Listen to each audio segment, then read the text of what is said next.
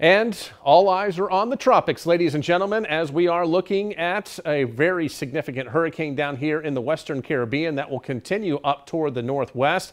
And this could become an even stronger hurricane as it gets closer to the tip of the Yucatan Peninsula. So folks down there are going to be watching this very closely. It'll eventually work off into the Gulf of Mexico, but winds are at 130 miles per hour sustained with higher gusts moving towards the Yucatan. And the main track right now looks like like it's going to be east of Texas, but we could see some residual effects around here with some clouds, maybe an isolated shower storm as we head toward the end of the week. Speaking of that, let's take a look at our future track showing you that Delta will continue to work its cloud cover a little closer to the area as we head into Wednesday. So we'll call it mostly sunny to partly cloudy.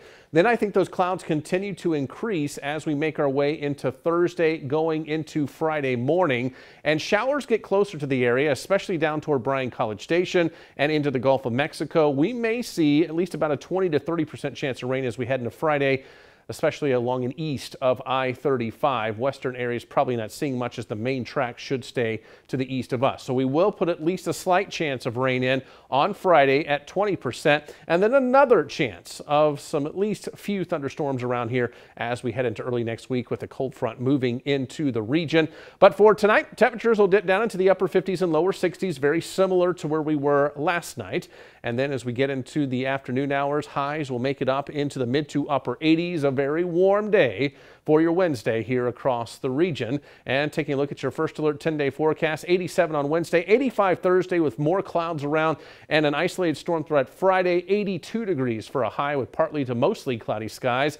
Then as we make our way into the weekend, it's going to get quite warm, especially Sunday with summer like conditions before cooling off a little bit next week.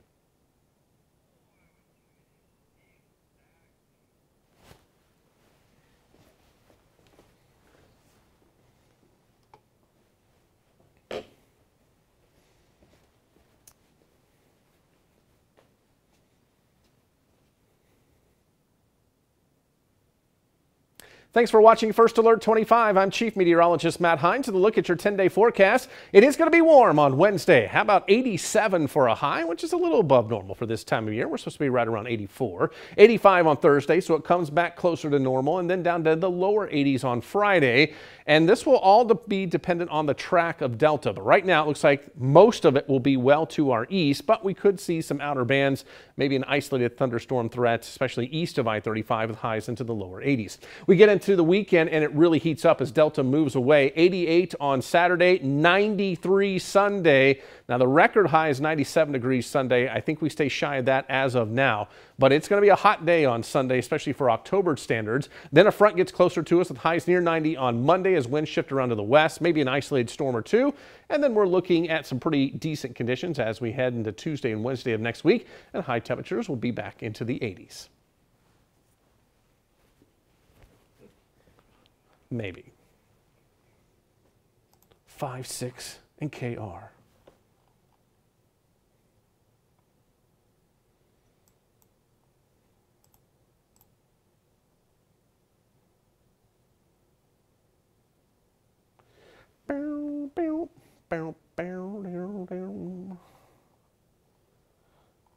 Let's see here. And none of my eagle eyes work. This is frustrating.